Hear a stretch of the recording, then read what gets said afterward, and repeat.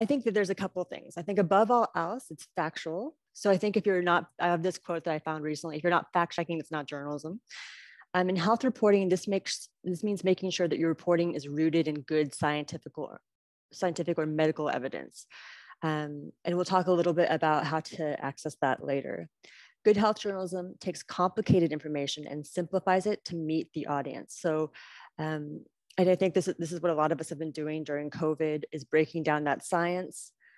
Um, it empowers communities to take steps to make better decisions about their health. So for instance, when you um, read health reporting on, for instance, you know, the amount of sugar in, in, in soft drinks or cool drinks, um, that's something that's building awareness about a problem and helping hopefully to help make consumers allow consumers to make better decisions it holds power to account. This is sometimes called accountability reporting.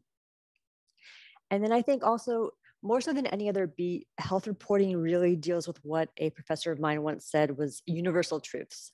So these are how we see and experience love life and death.